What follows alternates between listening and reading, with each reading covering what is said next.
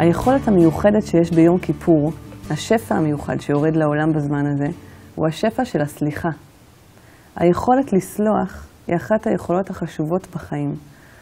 ההבדל בין היכולת לסלוח ואי היכולת לסלוח היא ההבדל בין זרימה בחיים לבין אי זרימה בחיים. המקומות העצורים בתוכנו, המקומות הנותרים, השומרים, כל מיני דברים שקרו לנו, וגם כל מיני דברים שאנחנו עשינו בעצמנו, יכולת שעוצרת אותנו ולא נותנת לה דברים לזוז ולהמשיך. העצירה, השמירה, עוצרת את הזרימה הפשוטה. כל פעם שאני זזה ברחוב כדי לא לראות איזה מישהו שנמצא במדרכה בצד השני, היא בעצם תזוזה של החיים שלי מהרצף הפשוט שלהם אל רצף אחר, שקרה בדיעבד, קרה בגלל שהייתה לי בעיה עם המקום ההוא. אותו רציתי לכתחילה, אבל מה לעשות? המקום הזה של היכולת לסלוח, של יכולת לבקש סליחה, של יכולת לבקש מחילה, היא בעצם היכולת ליצור דרך. מחילה זאת בעצם דרך צרה וקטנה שעוברת בין לבין.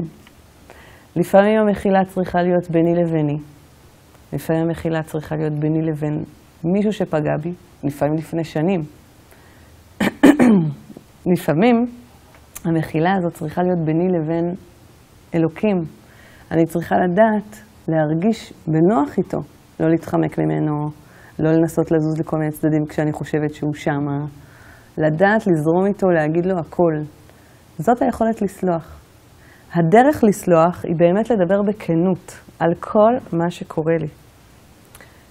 בדיוק כמו שבתוך בני זוג יש לפעמים קטעים שהוא הכעיס אותי, שיגע אותי, אני לא יכולה יותר. ואם אני אשאיר את זה בתוכי, ואנסה להחליק ולהיות חמודה ולהעביר את זה הלאה, בעצם הכל נשאר פה. אם אני באמת רוצה שהקשרים שלי יהיו מעולים איתו, חשוב שאני אדע איך לדבר איתו על זה. המקום המדבר הוא המקום המבקש מחילה, הוא המקום המבקש דרך. ואת המקום הזה אני צריכה לדעת ביום כיפור לעשות גם ביני לבינו, גם ביני לביני, וגם ביני לבין כל מי שסובב אותי. המון פעמים אנחנו שומעים במקורות יהודיים שאומרים שעצם היום מכפר. יום כיפור, מספיק לעבור אותו, וכבר משהו חופר לך, מעצם היום עצמו. ובכל זאת, יש לנו כל מיני דברים שנתבקשנו לעשות. לא לאכול, לא להתקלח ביום הזה, ועוד כמה דברים. למה? מה זה משנה? מה העניין? הרי אני יודעת שעצם היום מכפר. אומרים, כן, עצם היום מכפר, אבל האם אתה, אתה יודע לסלוח לעצמך? האם אתה מאמין שאני כאלוקים יכול לסלוח לך? המקום הזה שאתה מאמין שאתה לא יכול לסלוח, אותו צריך לנטרל. ואיך מנטרלים אותו? נורא פשוט. בדיוק כמו ילד שעשה משהו רע, ונורא חשוב לתת לו את המקום של לשלם על זה, כדי לנקות ממנו את המקום הזה, ולא לאגור בתוכו את המקומות שעשיתי, אני קצת רע, אבל לא נורא, זה עובר.